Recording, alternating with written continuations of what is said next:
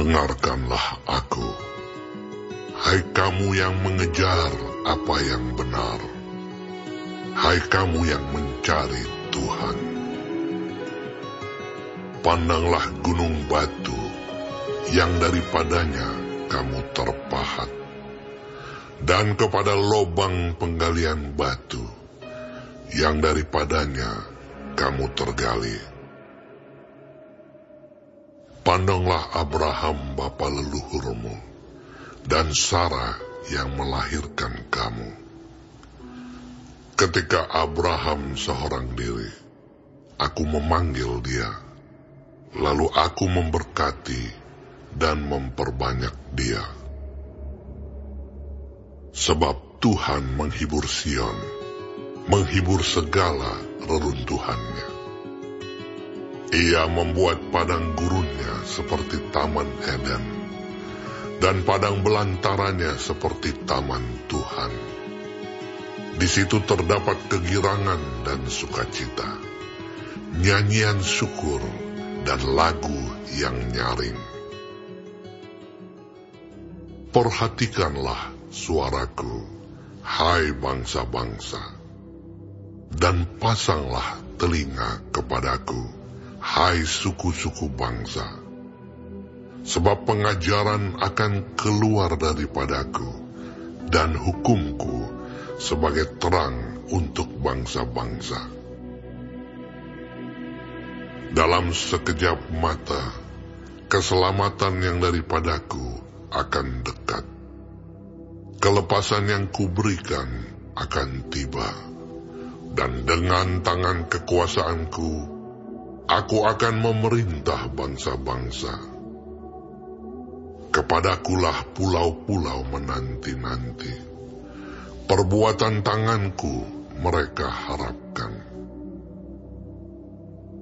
Arahkanlah matamu ke langit, dan lihatlah ke bumi di bawah. Sebab langit lenyap seperti asap, bumi memburuk seperti pakaian yang sudah usang dan penduduknya akan mati seperti nyamuk. Tetapi kelepasan yang kuberikan akan tetap untuk selama-lamanya. Dan keselamatan yang daripadaku tidak akan berakhir.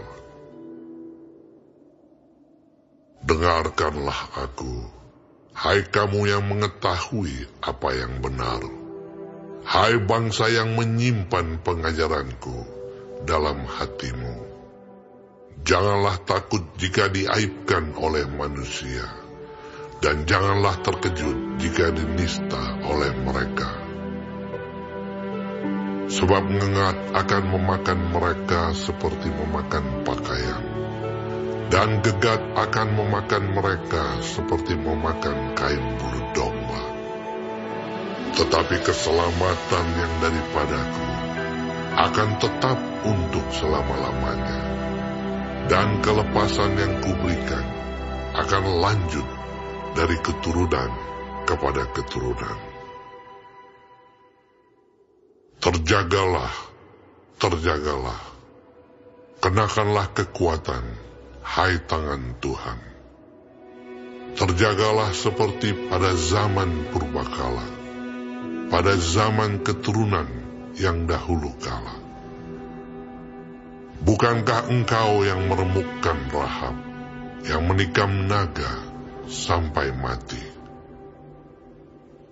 Bukankah engkau yang mengeringkan laut, air samudera raya yang hebat, yang membuat laut yang dalam menjadi jalan, supaya orang-orang yang diselamatkan dapat menyeberang?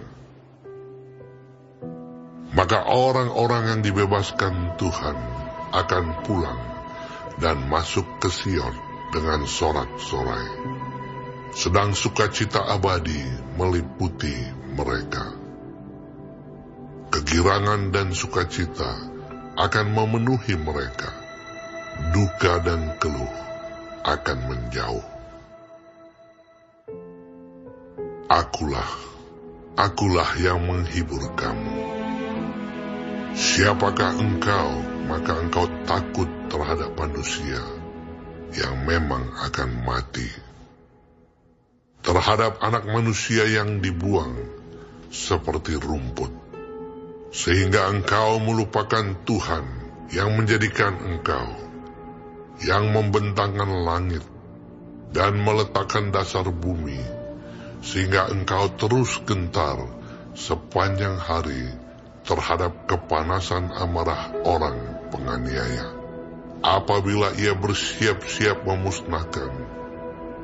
Di manakah gerangan kepanasan amarah orang penganiaya itu?